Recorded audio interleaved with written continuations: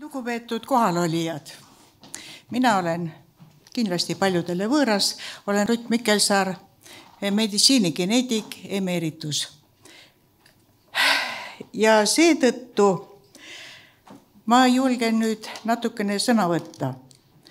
Laur Karuga olime me kuus aastat mitte ainult kursusel, vaid ka rühmakaaslased ja edasi ka tema poolt loodud instituudis kaastöötajatena ümbis.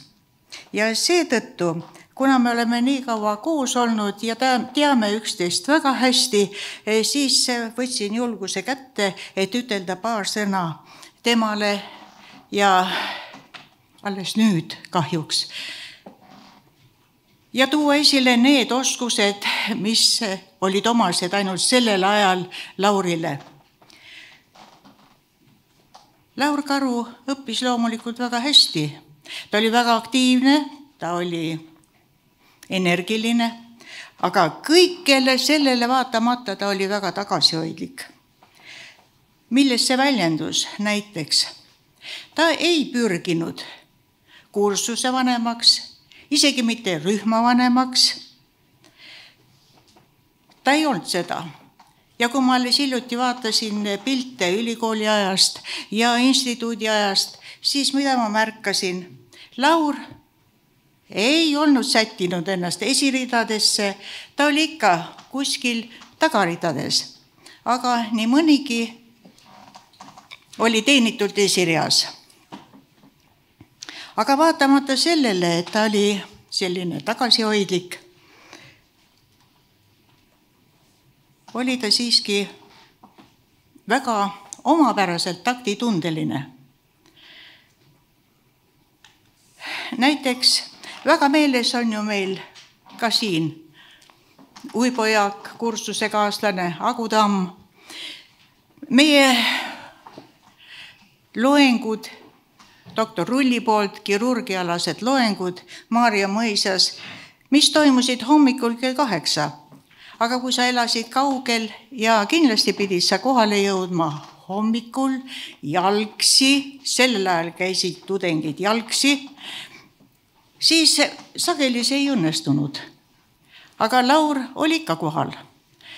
ja nüüd ta kunagi ei teinud kaaslastele märkust, et miks sa kohal ei olnud ja, ja kuidas siis niimoodi, vaid kui sa olid kohal siis ta nagu mööda minnes läks sinust mööda, ütles rõõmsalt, no küll on tore, meid on täna rohkem, sest ta oli väga huvitatud sellest, et rühma esindus oleks ikka rohkearvuline.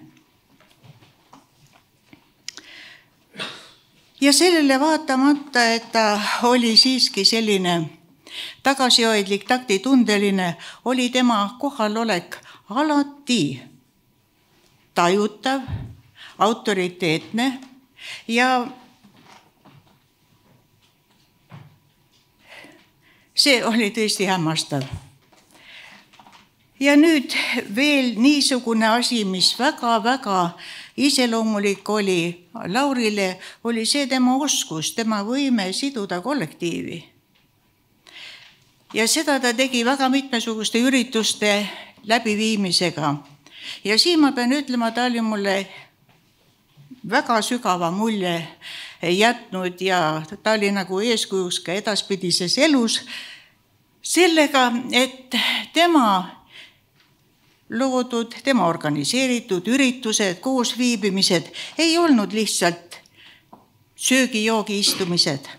Need olid alati temaatilised, väga lõbusad, energilised ja toredad ja siinkohal väga meenub üks selline koosviibimine, kus me kuulasime isegi näidendit härra Jaak Alliku esituses, ei ole vist siin.